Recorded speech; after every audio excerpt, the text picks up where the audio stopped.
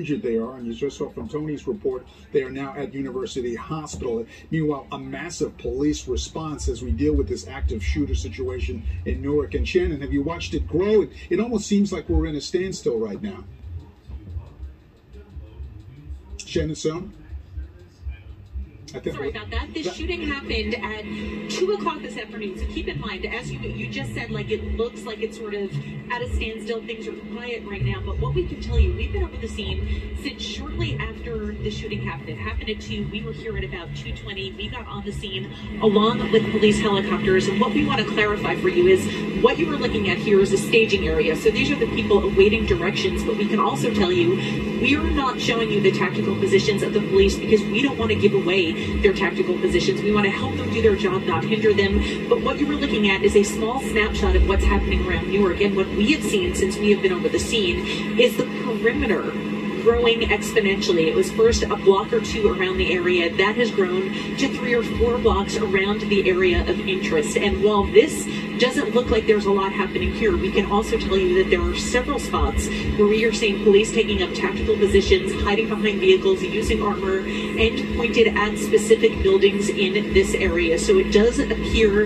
that they have at least an idea of where the active shooter may be. Of course, that information could be wrong. We can't confirm anything at this point, but they pushed this perimeter back significantly to keep the public safe. There have been areas where we've seen people out in the street, and as we've seen that happen, we've also been seeing police push that back further and further. As we mentioned, that Chancellor Avenue School is on lockdown. They're trying to get people to stay in their houses and just to, to reaffirm what we have already found out from Anthony and Tony. There were two officers shot, one in the leg, one in the neck, both taken to University Hospital, both in unknown condition at this point. But this is a very active scene and resources from around the county and around the state are being activated so they continue to search for this active shooter. Again, the impression that we get from looking overhead is that they have a very good idea of where they think the person is, but that is a matter of keeping the public safe and making sure that their information is accurate as they continue to search.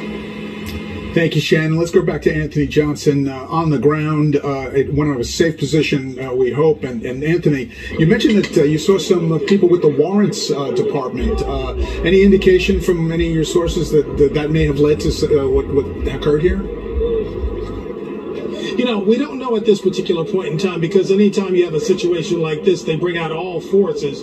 So everybody has responded to this scene down here. We just saw an officer walking up with one of the long guns. But like you've seen, and Shannon was talking about how all of the officers are pretty much staying back. A lot of them actually standing behind vehicles at this point in time. And when I initially got to where we're standing right here, one of the officers even said to me, you can't go any further because we consider this situation from here all all the way down to Bergen along Chancellor to be a dangerous situation. And as Shannon was talking about, they have encouraged everybody that lives in this area, everybody that's in this area to stay indoors. As a matter of fact, you might see an officer right now. He's just jogging across the street pretty quickly, but they've told everybody to avoid this area, to stay away from the scene. They're not quite sure uh, from here where the gunman is. We can tell that at this particular point in time. Nobody can really tell where the gunman is, but we assume that about a block and a half away, that's where the initial incident occurred.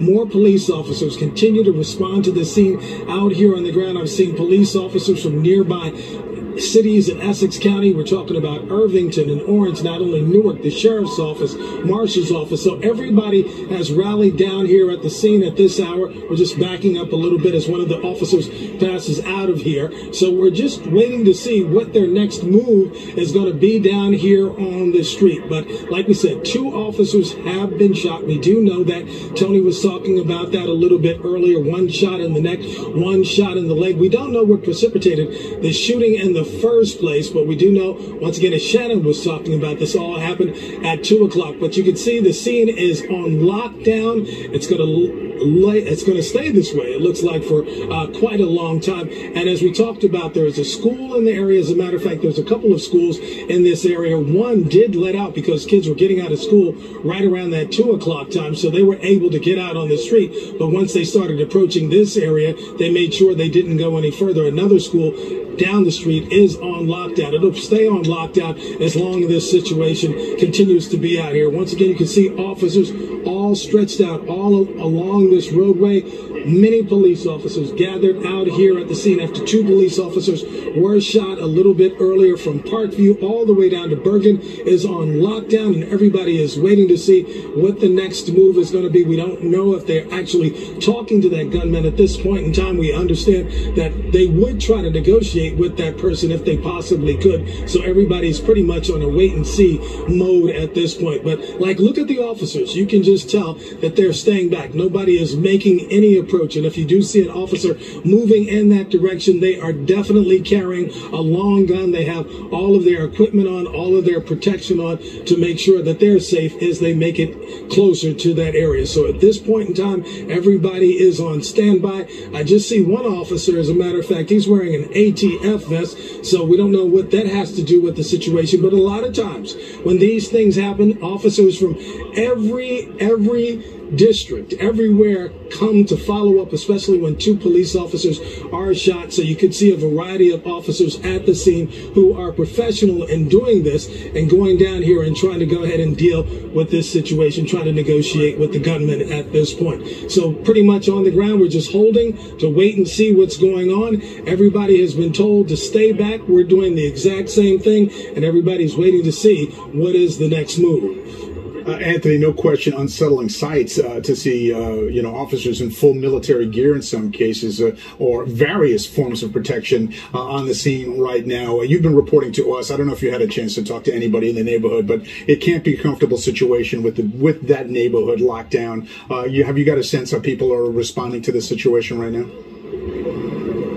Well, a lot of people have responded up here. They were trying to find out what was taking place. A lot of them walked up to the scene. They walked up to the yellow tape. They're asking questions. They want to find out specifically what's happened. Like I said, there's a group of kids standing right next to me. All of these kids are from Weequahic High School. This is a normal block that they would walk down on any given school day to go ahead and head home. So they're waiting for their next move to figure out what's going on. A lot of other people just came down here. They were trying to see what was taking place down here on the block. They're asking us a lot of questions.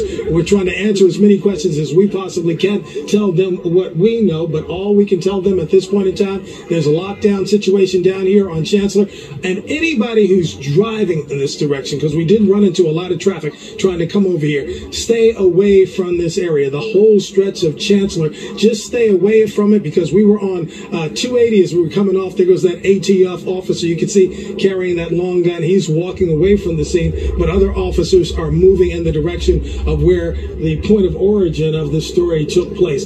So we're just waiting to see what all led up to this shooting where two police officers have now been injured. Their conditions we do not know. One shot in the neck, the other shot in the leg.